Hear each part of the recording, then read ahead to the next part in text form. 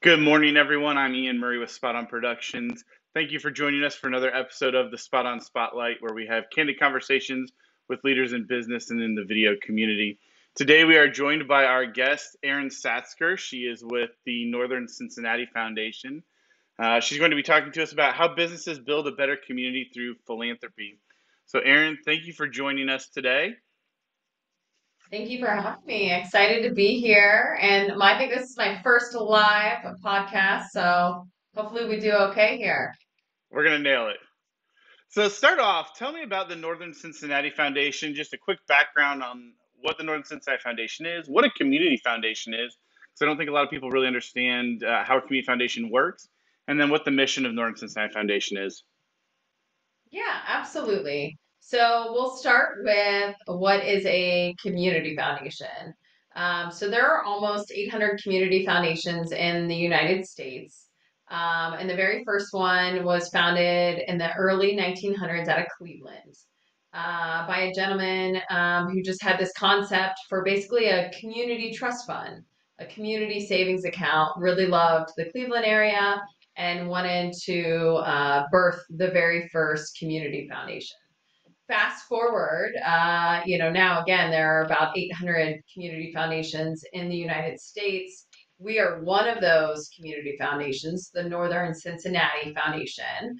Um, and and really what it is is most nonprofits function as these community resources and checking accounts for the immediate needs and a community foundation is the community savings account for that long term sustainability and vibrancy for your community. So it's a really important asset that your community, your region has a community foundation to utilize. So that's kind of what we are in a nutshell. Um, the Northern Cincinnati Foundation was born uh, 25 years ago uh, this year. Um, and you know, it was a it was a kitchen table group of women uh, that decided in the Westchester and Liberty Township community that we needed a community foundation. And it was really born as a grassroots effort, which is very atypical. This is not the typical founding of a community foundation.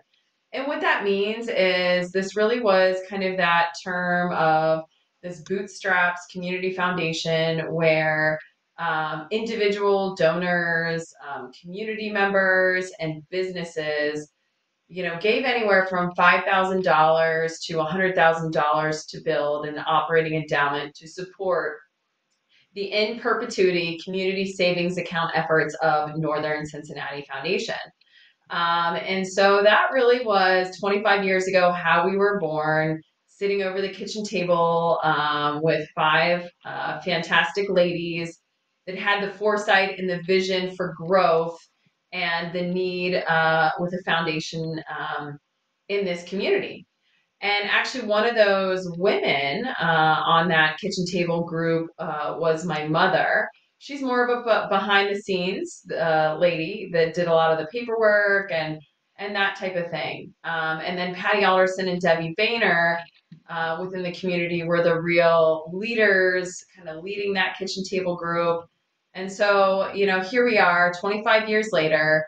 We're focused on the northern Cincinnati region. So we're really focused on uh, northern Hamilton County, Butler County, Warren County, and um, also part of Clermont County. So we're thinking of who identifies with Cincinnati, you know, maybe is in suburbia, uh, either lives in suburbia, works in suburbia of Cincinnati, and wants to benefit their local community. And that's what we focus on. So the fee that we take uh, for our fund holders, actually, this is where that community um, trust fund aspect comes, right? Like if we're taking a 1% fee, we want to make sure we're giving back uh, that fee to our community. So it's kind of a really exciting thing to be a part of. Um, it is more sophisticated in the way that community foundations work because they're not here in the short term. They're really thinking about that long term vibrancy of your region. So, um, very much enjoy it. Did I hit all the points there? I'm trying to think of, oh, our mission connecting families to causes. So we're we're connecting obviously people to causes um, within the region. We're you know a, a resource on that need, um, and we're here to help facilitate the philanthropy. So uh, that, that's very cool. I love the family connection.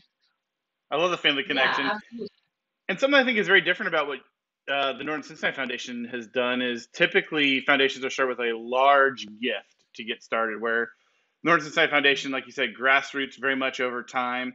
And you guys focused more on, I would say, first generation philanthropists. Is that correct? Versus maybe. Yes. Yeah, we, we really do um, focus on first generation philanthropy. We work with many entrepreneurs that have built their businesses. Maybe they started it, you know, I've heard the stories in, in my car or in my garage or, you know, somewhere in my house uh, or a donated space from an uncle, right? They started their businesses from nothing. They built it to what it is today. And now they're blessed and they're giving back. And so we do see, and especially in this community, uh, where growth is still ongoing, uh, you know, the birth of philanthropists. And sometimes it's almost uncomfortable for them to claim that name you know they don't feel worthy mm-hmm. of the title but i assure you they are uh, they've worked hard and now they're giving back. That's awesome. So the tagline for the northern cincinnati foundation is here for good tell me about that mm-hmm. and you guys have rolled out a new campaign it's called the here for good yeah. strategy correct tell me about that that's correct yeah, so um, here for good, uh, dual meaning, right? We're here to do good, be good, and here for good, meaning in perpetuity. Um, and so I do love that tagline is, you know, we are here for both, right? We're the long term plan and the resource. Um, and so, you know, we, when we first were founded, didn't have the funds to be thinking like we're here for good as an asset to the community because what that meant was we weren't fully endowed yet by a large founder or foundress uh, that founded the foundation. And so we just didn't have that. Um, and so we actually became sustainable through strategic planning through working a campaign and finishing our endowment fund for operating and we became here for good and so recently we decided, the Northern Cincinnati Foundation Board, uh, when working through strategic planning, that wouldn't it be so amazing to do what we did for ourselves as this grassroots organization to kind of hold their hand and come along with them on building an endowment and making sure they're here for good. So now not only are we here for good, but we're making sure that nonprofits serving our region are going to be here for good. And we felt like, wow, this is really think outside the box. We're not just some foundation holding an endowment and encouraging them to hold it here uh, for asset stability, long term asset planning. No, what we're saying is we're going to pay a consultant um, to help, you know, uh, work out your campaign details. You're going to have my time. You're going to have the staff's backing. You're going to have our board's backing on being here for good. And we're going to go alongside you and um, teach you on on building an endowment because what we find is so many amazing uh, causes are always thinking in that checking account um, mentality because they're really thinking about how can we bring the funds in to impact immediately. And they're living their mission and their whole board is, and they don't have the time and maybe even yet they haven't even thought about how can we be sustainable and what's our exit strategy for potentially our founder of this organization who started it. Um, and so we're super excited to roll this out. Uh, we have never seen this done before where uh, community foundation is actually like holding hands and, and playing all those major roles in um, a an operating charities endowment plan. So this is groundbreaking. Uh, it's a pilot. There was no benchmarking on this type of program because we are founding it, and we're excited to kind of learn, adapt, and um, you know really help these nonprofits be sustainable and here for good. I love about the North Foundation. You guys break the mold on a lot of things from the founding of the organization to where you are today and the impact that you're looking to leave. Talk to me. That's that's a lot on the impact in the community. Talk to me about the importance then of corporate philanthropy and people being philanthropic and giving into organizations like the Community Foundation? Why is that important? Yeah, well, we actually hold a lot of uh, corporate funds uh, within the region, but you know, I often hear the CEOs that I work with that the reason they're so passionate about giving back is right is you is they typically get back too in some way, right? You're giving and you're getting back in ways that you didn't foresee. Um, and so doing good and being good uh, brings back good your way. And so, you know, I think one, tax advantages, tax strategies, that is always a factor. Um, I also think if you've been blessed and your company's doing well, uh, it does behoove you to be a really good community partner, community leader uh, on giving, right? To, to give back. Um, and then I know a lot of people right now, frankly, I'm going to bring this up because a lot of boomers are selling their businesses, you know, private equities coming in, coming in, purchasing businesses. And we're actually working through a great deal of business sales right now where we'll hold, we'll hold through a third party, the S Corp, um, and they can actually gift more and more strategically. Uh, and so we are partnering kind of with the full team on uh, mergers and acquisitions, estate planning, financial advising, your CPA. Um, and actually, that's a great time to give from your business as well. Um, and you can have your your corporate fund, but then you can also have your personal fund through something like a business, uh, like that business sale. And so that is something that we are growing in as well. But uh, really, I think the CEOs that I work with, they're such good people. They're such humble people that came from very humble beginnings and they want to make uh, an impact. And so I love to see what they're passionate about. Um, and every CEO is different, right? They all have different passions. Um, and it depends on their story and where they want to get.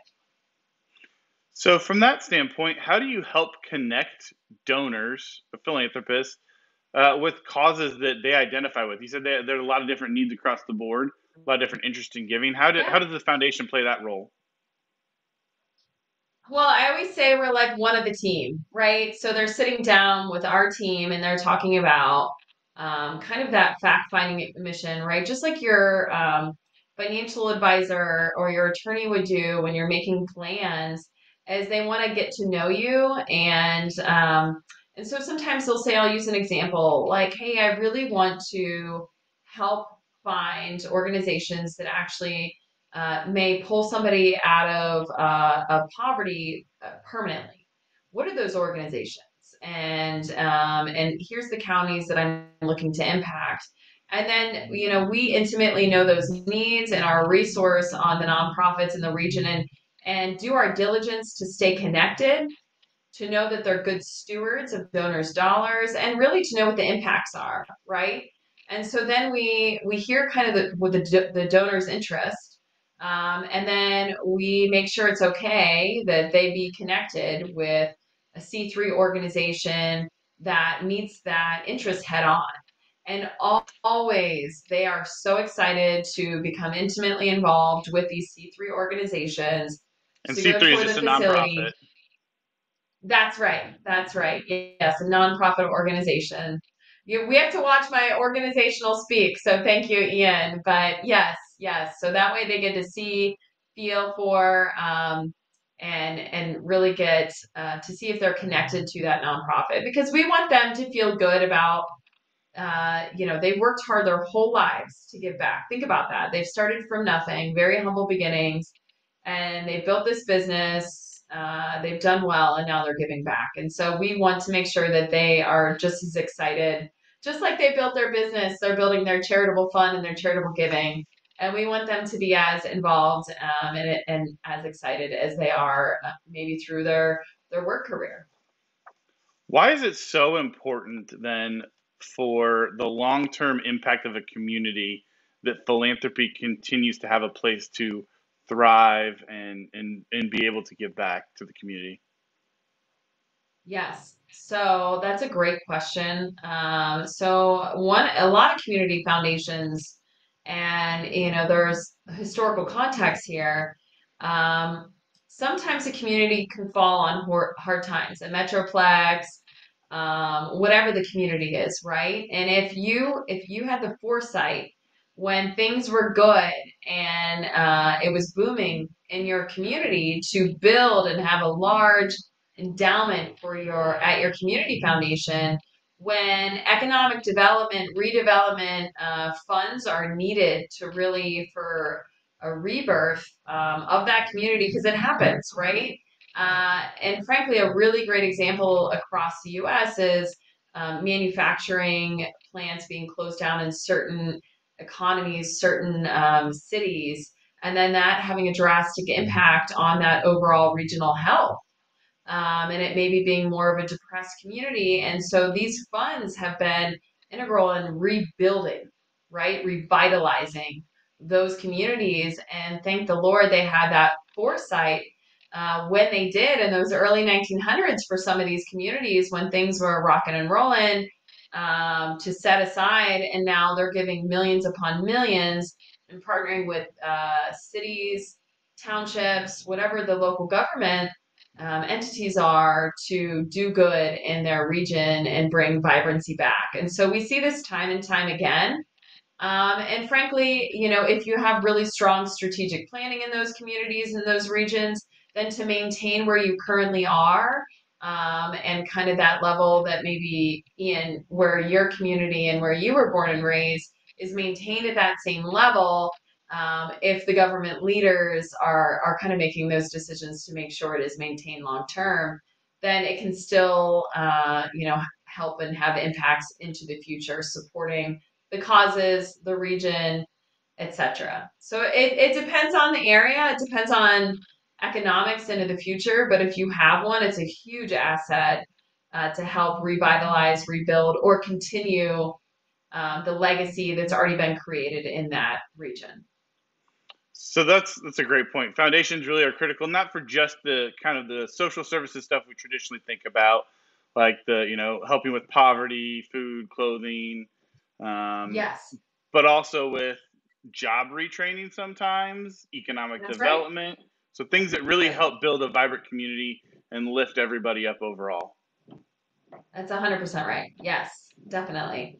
So you guys are starting on a brand new project that's very exciting for you that kind of connects a lot of these dots into that thinking mm-hmm. of the future. Talk to me about the uh, USS Cincinnati project you guys are working on. Yes. So uh, this is one I'm really excited about.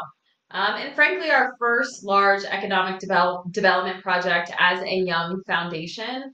Um, young foundation meaning we're turning 25 years old this year. Um, so uh, the USS Cincinnati, this was actually a submarine uh, that was commissioned uh, when we were in the Cold War era.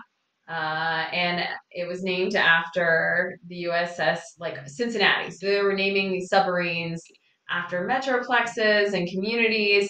And um, it was no longer in use. And actually, some amazing naval veterans and veterans, uh, you know, was just going to be scrapped and nothing was uh, going to come of it. And they thought, why don't we bring it back here, have a memorial? Um, and frankly, this has been a 20 year project in the making. Um, wow. They had tried to get this to happen downtown, and it just kept not fitting together the pieces of the puzzle they needed. And uh, up north um, at VOA, Voice of America Park, uh, within this region, it's going to be the first of its kind. So we're really excited because there's going to be this memorial site that's going to have STEM activities and education to help the pipeline, one, to our um, you know different STEM programming and educational aspects in, in the United States, but also to help the pipeline, frankly, into our armed uh, forces, um, into the Navy, and frankly, even sparking interest on submarines this is a real problem um, plaguing kind of the United States right now is that we don't have the pipeline needed um, to meet, frankly, that need uh, in the Navy and the submarines. And, and so not only are we preserving a piece of history for our region with the USS Cincinnati, this submarine memorial, uh, and it's kind of this this peace memorial. Uh, and it's a lo- it's a group of local veterans that have been working on this again for 20 years, and so it's it's happening we've got a groundbreaking coming up uh, in May where we're gonna start to dig. And I always say people can still give if they still want to give. Right? We're building an endowment fund for them. We have the capital fund, uh, but really, it's been a very wonderful project with uh, dedicated volunteers um, that served at one point our country, and I just really care about having this USS Cincinnati history preserved and educating kids um, to to be passionate about our our armed forces. So really, it's exciting for us. It's a first time project. I have been kind of going hand in hand as the leader of the Northern Cincinnati Foundation on many asks to make sure that we receive the funding that we need and again establish this endowment fund um, which we think is important for long-term maintenance of the memorial and that so endowment fund excited. means that endowment fund means that there will always be funds available to continue to maintain yes. and keep that project uh, looking great for its yes, lifetime. that's exactly right. That's exactly right. So when you think about endowments, I think it's always easy to think in easy numbers, right? So typically for community foundations, let's say there's a million dollars in a fund and you're pulling 4% um, every year uh, to benefit whatever the cause may be. So that's $40,000 a year in perpetuity. And it's kind of growing in the marketplace like your retirement fund, would, right? Like you're investing it for growth um, and it's you're preserving the principal but you're pulling that 4% interest. And so it's going to, it's going to gain and grow over the years and keep impacting that cause, which then if it's a large enough endowment, now you're sustainable into the long term. And so that's really the place that nonprofits um, need to get to. And that's where uh, the Northern Cincinnati Foundation is saying, hey, we're here for you. We are going to help you get there. Um, and it's our mission right now that we're living through our strategy to really help nonprofits be here for good and sustainable. That's incredible.